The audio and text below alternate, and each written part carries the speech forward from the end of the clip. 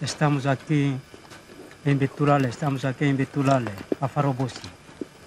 24 horas. Os generais indonésios acreditavam que em 24 horas dominavam Timor. Julgavam que tomavam o pequeno almoço em Dili, que almoçavam em Baucau e jantavam em Los Palos. Mas os generais indonésios falharam. 24 horas já se transformou em 21 anos. 24 horas agora transformando para 21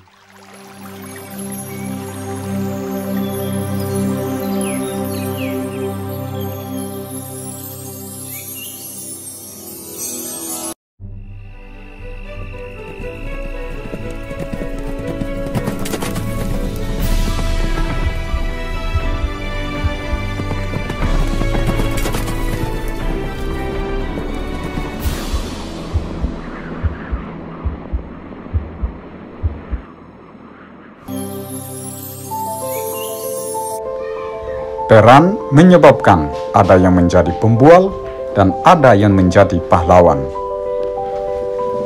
Untuk mengingat kembali memori tahun 1996 di mana Komandan Valentil David Alex Daitula menyatakan bahwa para jenderal Indonesia gagal dalam perang di Timor Leste. Beliau mengungkapkan hal itu karena mengingat kembali pada masa invasi tahun 1975 di mana para jenderal Indonesia sudah menyatakan hanya dalam 24 jam sudah menguasai Timor Leste. Sarapan di perbatasan, makan siang di Dili, dan makan malam di Los Palos. Dengan hal itu, David Alex Daitula, sang komandan pemberani Valentin, menyatakan bahwa perang ini sudah berlangsung sejak tahun 1975 sampai 1996 itu sudah berdurasi 21 tahun. Dengan demikian, ia menyatakan para jenderal dari Indonesia sudah gagal dalam perang tersebut. David Alex Daitula juga menyatakan perang terhadap TNI itu, para Valentil tidak dapat dukungan dari luar negeri. Senjata dan peluru yang Valentil menggunakan itu hanya membeli melalui para anggota TNI yang berpihak kepada Indonesia, tetapi keinginan untuk mendapat uang lebih besar sehingga Valentin hanya membeli peluru-peluru itu dari anggota-anggota TNI. Selain itu, senjata dan peluru-peluru yang Valentin dapat hanya melalui operasi-operasi militer dan penyerangan terhadap tentara TNI sehingga bisa merebut senjata dan peluru yang digunakan oleh TNI. Tetapi itu pun harus bertarung dengan nyawa. Memang hal itu adalah paling sulit dalam kehidupan Valentil. Tetapi mengingat pada tahun 1981, di mana Kairala Sana Gusmau yang selaku panglima tertinggi Valentil sudah mereorganisir peran terhadap TNI itu, beliau sudah menyatakan dan membuat strategi bagaimana Valentil sendiri bisa menafkahi diri melalui operasi-operasi militer demi mendapatkan pakaian, mendapatkan senjata, dan mendapatkan peluru untuk bisa menafkahi diri anggota Valentil masing-masing. Dengan demikian, setiap komandan Valentil selalu merancang strategis bagaimana menyerang duluan sebelum diserang oleh tentara TNI yang notabene memiliki senjata modern dan kekuatan lebih besar. Valentil melakukan aksi-aksi operasi penyerangan militer secara gerilya itu karena dari pihak Valentin sendiri menyadari untuk menggalakkan Indonesia melalui perang terbuka adalah hal yang mustahil. Karena mengingat di bagian Asia Tenggara, Indonesia adalah satu-satunya negara yang memiliki anggota personil lebih banyak jumlahnya.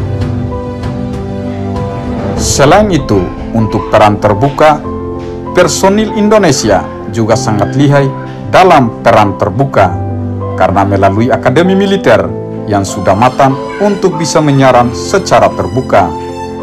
Dengan hal itulah yang membuat Valentin selalu menyerang melalui operasi-operasi yang bergerilya. Tujuan utama Valentin melalui operasi-operasi militer itu dengan niat bagaimana tetap menyalakan api di dalam negeri tentang peran terhadap Indonesia. Karena Valentil sendiri percaya dari pihak politik tetap melaksanakan aktivitas politik bagaimana melalui politik diplomatik dan di dalam negeri melalui klandestin-klandestin agar bisa menang Indonesia secara politik. Alhasil dengan aksi-aksi itu, Timor Leste benar-benar mengalahkan Indonesia melalui peran politik. Karena Valentin sendiri sadar masyarakat Timor Leste memang tujuannya ingin negara Timor Leste menjadi negara yang merdeka secara resmi. Hal itu bisa menjadi kenyataan tak lepas dari politik diplomatik Timor Leste di luar negeri yang sangat aktif untuk berperan melalui proses diplomatik. Selain itu, solidaritas dan dukungan internasional juga ikut berperanan sehingga proses persoalan Timor Leste dan Indonesia benar-benar selesai secara resmi. Dengan demikian, negara Portugal sebagai faktor utama untuk penyelesaian negara Timor Leste dan Indonesia. Untuk mengingat memori tahun 1996 di mana Komandan Valentil Pemberani David Alex Daitula mengatakan para jenderal Indonesia gagal dalam perang terhadap Timor Leste, berikut Sial TV akan menayangkan memori tahun 1996 yang diarsip dari jurnalis RTP. Estamos aquí en Betulale, estamos aquí en Betulale, a Farobosi. Bom dia a todos, bom dia a todos. Un día, estão longe de tudo e de todos. Nas montanhas de Timor, a rádio é a única forma de quebrar o isolamento. Há 21 longos anos que os guerreiros das Falintil, as Forças Armadas da Resistência Timorense, combatem as tropas indonésias que invadiram o território. Estas imagens de um operador da RTP, captadas em setembro, demonstram que, apesar das dificuldades, a guerrilha continua ativa. Generais indonésios os generais indonésios acreditavam que em 24 horas dominavam Timor. Julgavam que tomavam o pequeno almoço em Dili, que almoçavam em Baucau e jantavam em Los Palos. Mas os generais indonésios falharam. 24 horas já se transformou em 21 anos. 24 horas agora transformam para 21 anos. A guerrilha não conta com qualquer apoio externo. Atua com escassez de armas e munições. Algumas balas são compradas no mercado negro aos próprios soldados indonésios. Balas a 200 escudos cada. No plano alimentar, os guerrilheiros sobrevivem da caça e de donativos dos camponeses. Totalmente cercados pelas forças de Jakarta, não recebem assistência médica nem medicamentos desde a invasão em dezembro de 1975. Levei uma rajada que me furou o peito até à garganta. Não senti muita dor quando fui atingido. Só senti muito sono. E também não acreditei, apesar de tudo, que ia morrer. Inspirados pela fé católica que os distingue dos muçulmanos indonésios, os guerrilheiros irão encontrar um segundo fogo no Prémio Nobel agora atribuído ao bispo Ximenes Belo e ao líder diplomático José Ramos.